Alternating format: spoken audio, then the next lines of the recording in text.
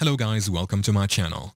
In this video, I'm going to show you how to convert RAR file to APK in Android. It is a quick and easy tutorial, so let's just dive into it.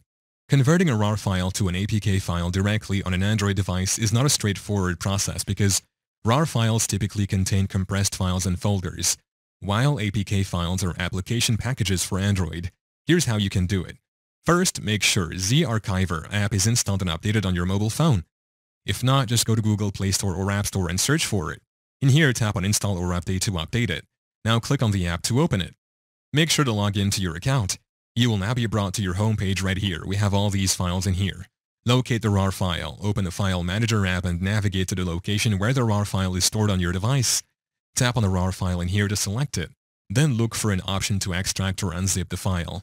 Choose the Extract option and select the destination folder for the extracted files. Once the extraction process is complete, navigate to the folder where the files were extracted. Look for any APK files among the extracted contents. If there are APK files present, it means that the RAR archive contained Android applications. Install the APK. If you find an APK file, tap on it to initiate the installation process. Follow the on-screen prompts to install the application. Yeah, that's it. Thank you for watching. If this video was helpful, Please leave a like and subscribe to my channel for more videos like this. And click on that notification bell to never miss an update.